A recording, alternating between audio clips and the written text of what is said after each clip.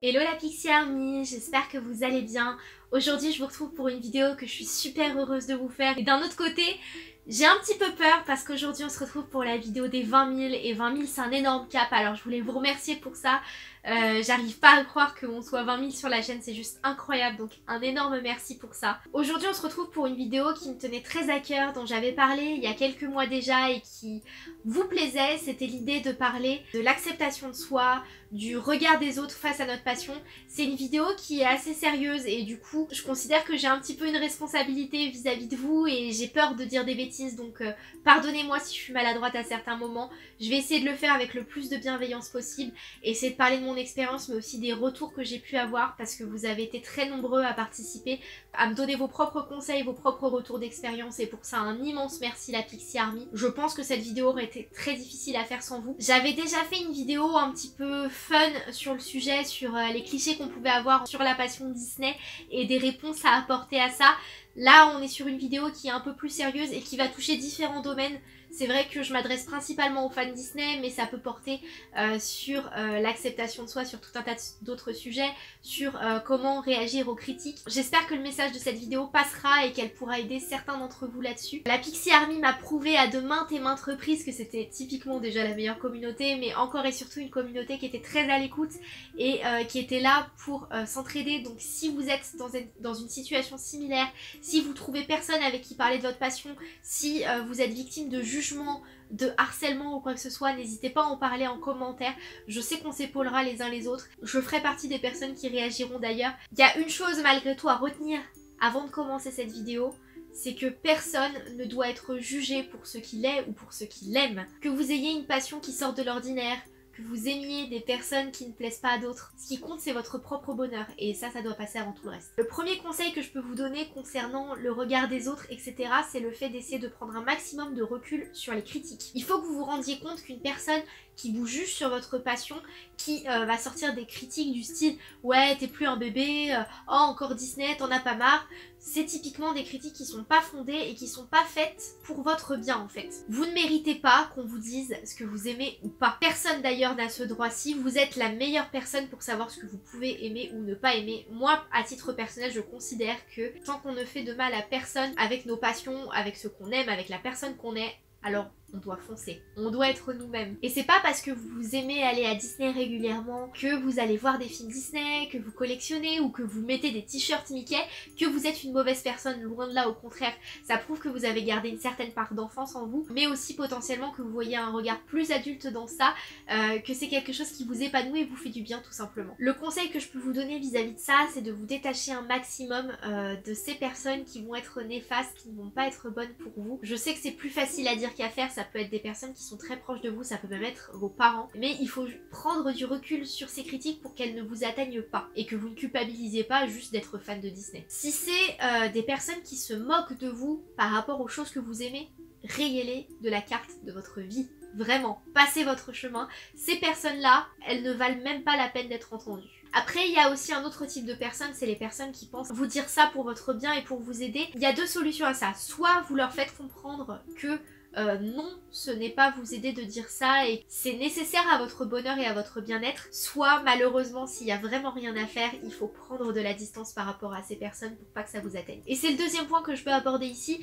pour euh, les personnes chez qui vous ressentez un minimum de réceptivité ou les personnes euh, dont la vie compte vraiment vraiment vraiment pour vous et vous savez que vous ne pourrez pas vous en détacher, il faut que vous réussissiez à montrer à ces personnes en quoi le fait d'être fan de Disney ou d'autres choses ne fait de mal à personne, vous rend heureux, vous fait du bien. Et les bienfaits qu'il peut y avoir à avoir cette passion. Il y a certaines personnes euh, qui pensent en fait que si vous aimez des choses qui ne sont pas habituelles, si vous avez des passions qui sont un petit peu différente de celle qu'on peut voir si vous rentrez pas dans le moule. Euh, il faut vous y faire rentrer, sauf que la vie ça marche pas comme ça, en tout cas c'est ce que je pense. Il y a des personnes en fait qui vont d'office vous juger, même si vous faites plaisir à ces personnes et que vous vous dites que oui, euh, vous allez faire l'effort de ne plus aimer ce que vous aimez, de ne plus être que vous êtes vraiment pour leur faire plaisir, vous serez jamais pleinement heureux en fait. Parce que pour moi, une personne qui s'assume, qui se montre telle qu'elle est, qui, qui montre que c'est une personne unique, pour moi ce sont les personnes les plus belles. Dans certains cas donc il faudra vous assumer, taper un petit peu du poing sur la table et montrer qui vous êtes, ça peut permettre de changer les mentalités. Pour d'autres, Vous pouvez également essayer de leur faire comprendre en fait euh, en quoi consiste votre passion.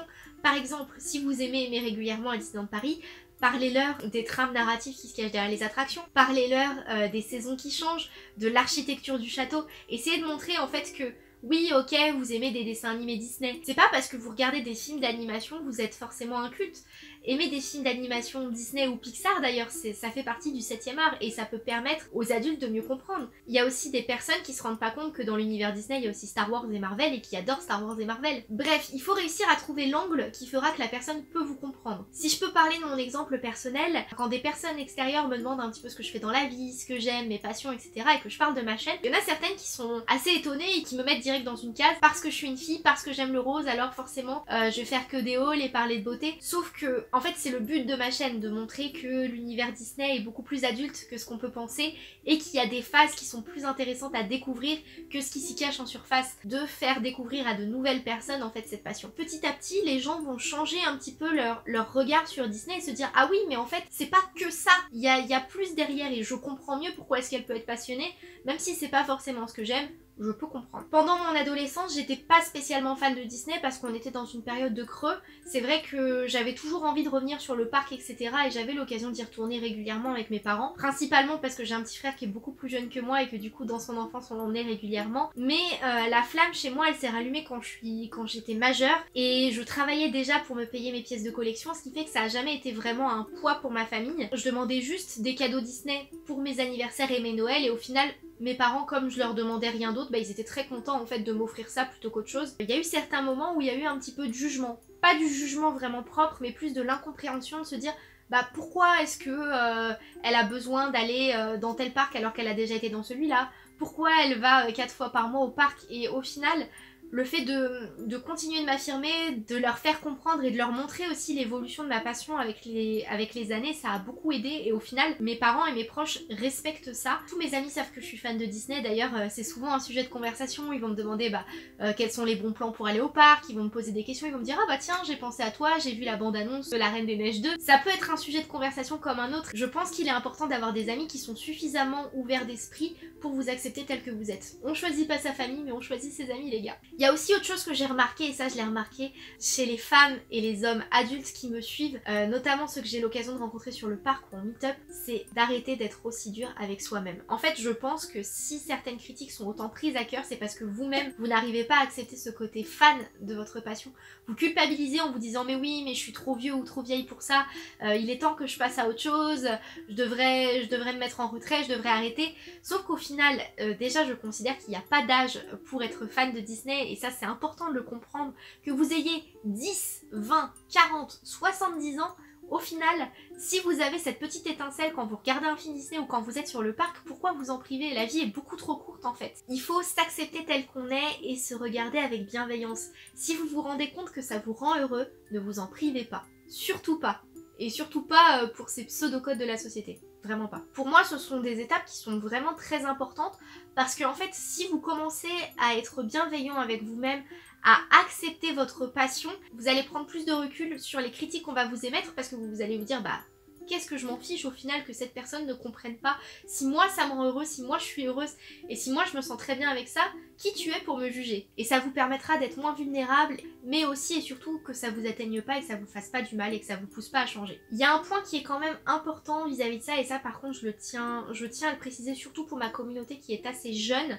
Euh, si les critiques vont vraiment trop loin, si vraiment ça vous touche de l'intérieur et que c'est par exemple quotidien, je pense notamment à ce qui s'apparenterait à du harcèlement, ne le gardez pas pour N'hésitez pas à en parler autour de vous. Dites-le à une personne de confiance. Écrivez votre ressenti. Ne gardez pas ça pour vous, ça va vous bouffer. Si c'est par exemple à l'école et que vous avez des camarades qui se moquent de vous parce que vous avez un t-shirt Mickey, et je dis ça parce que j'ai reçu des commentaires, des messages privés de personnes qui étaient euh, dans ce cas-là et qui savaient pas comment réagir. Moi je suis là pour vous écouter, mais je suis loin, je suis derrière un téléphone, je pourrais rien faire.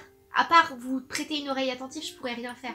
Il faut que vous trouviez un adulte de confiance, quelqu'un qui va vous écouter et vous aider. Ça peut être un grand frère, une grande sœur, un ami, un parent, un professeur. Et en plus de ça, ces personnes-là vont vous faire culpabiliser alors que vous avez rien fait de mal. On en vient donc au point euh, qui me paraît quand même assez important, c'est le fait d'apprendre à partager ce monde avec les gens qui vous entourent parce que il n'y a pas besoin d'être youtubeur ou blogueur ou instagrammeur ou un truc qui finit en heure pour partager sa passion au reste du monde.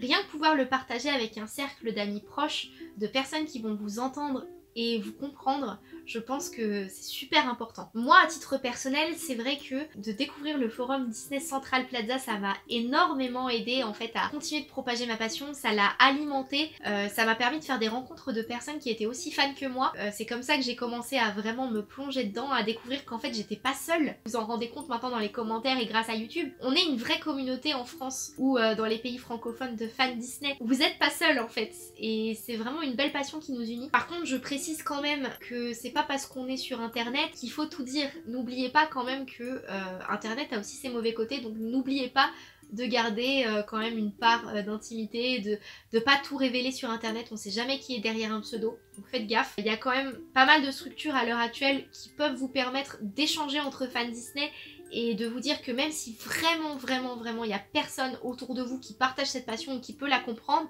qu'au moins sur internet vous avez des personnes bienveillantes, sympathiques et qui vont vous comprendre et avec qui vous allez pouvoir échanger, débattre, parler des nouveautés sur l'univers Disney etc. J'avais créé un forum pour la Pixie Army, le lien est systématiquement en barre d'infos donc vous le retrouverez encore une fois ici et je trouve que c'est important et d'ailleurs n'hésitez pas à y faire un tour si vous en avez envie, le forum est toujours ouvert. Après il y a également d'autres moyens de rencontrer des fans Disney, ça peut être sur le parc si vous allez régulièrement par exemple sur le parc. Je prends un exemple, Pirate et Princesse, c'est souvent les mêmes personnes qui sont autour euh, des scènes centrales et qui dansent, etc.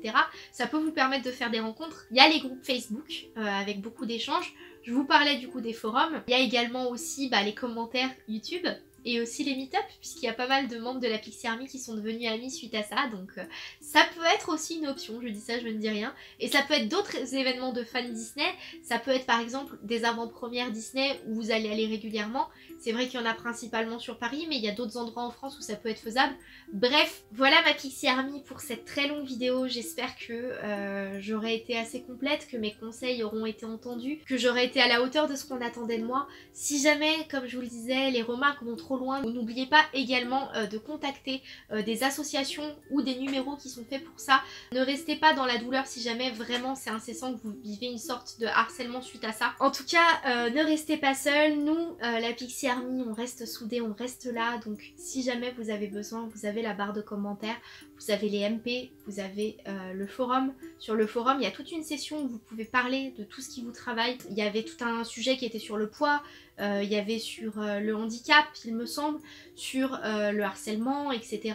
Bref, vous aurez toujours une main tendue et je sais que dans les commentaires, vous allez être présent et vous allez répondre aux personnes qui seront dans des situations pareilles. N'hésitez pas également à partager votre propre ressenti euh, si euh, vous avez déjà vécu ça, si vous avez connu des proches qui ont vécu ça, comment est-ce que vous avez fait pour mieux vous assumer, pour, pour vous sentir mieux tout simplement. C'est une vidéo qui était très importante à mes yeux, ça faisait très longtemps que je voulais la faire.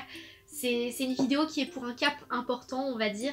Et d'ailleurs, euh, sachez que pour les 25 000, la vidéo est déjà prévue. Je ne l'ai pas encore tournée, bien évidemment, mais je sais déjà de quoi ça va parler. Mais si vous avez des idées euh, de vidéos en particulier que vous aimeriez voir pour d'autres caps, donc euh, les 30 000, les 35 000, si un jour on arrive à tout ça, n'hésitez pas à me le mettre également en commentaire, je serais très curieuse de le savoir. En attendant, prenez soin de vous la Pixie Army, sachez-le, je vous aime plus que tout. Bisous, bisous, bisous Je vous ai promis à chaque fois une scène post-générique, donc me voici par ici. Je voulais juste vous dire que euh, là c'est la cinquième vidéo que je tourne d'affilée aujourd'hui. et c'est juste énorme. Je, je, suis à la fois super contente et super claquée. Voilà, euh, c'est une vidéo que j'ai vraiment pris le temps d'écrire. J'ai reçu près d'une centaine de commentaires de messages privés sur Instagram de personnes qui voulaient partager, me faire un retour d'expérience. Et euh, je voulais juste en profiter ici pour euh, remercier chacun de vous. Voilà, bisous